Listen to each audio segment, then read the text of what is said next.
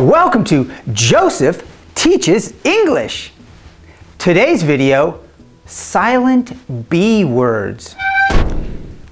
The next word is subtle. Subtle means a very small trace, such as in this food I can taste a subtle hint of cinnamon. Subtlety.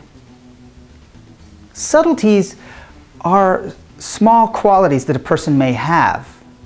It's common to suggest, well, that person has no subtlety because they just came right out and said what they meant.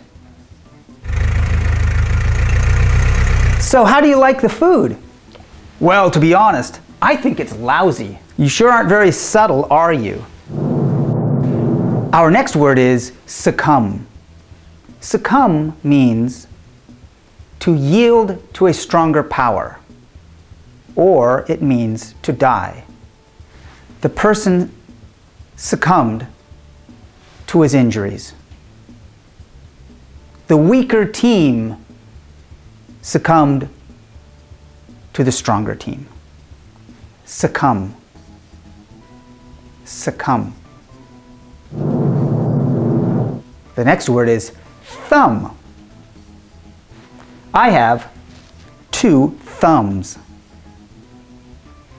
Some people try to thumb a ride. Thumbing a ride means hitchhiking, trying to get somebody to give you a ride for free in your car. I suggest you don't thumb for a ride. Thumb. Another word in our list is tomb. The tomb is a burial place.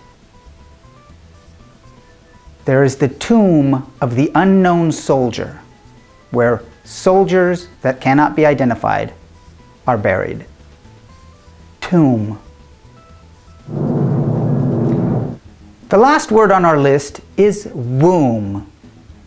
The womb is where a baby gestates inside the mother. Womb. Remember to go over this list more than once if you need to, because these words we do not say the B. And if you're learning English, you may read the B and want to pronounce it. But we are not combing our hair. A person is not dumb.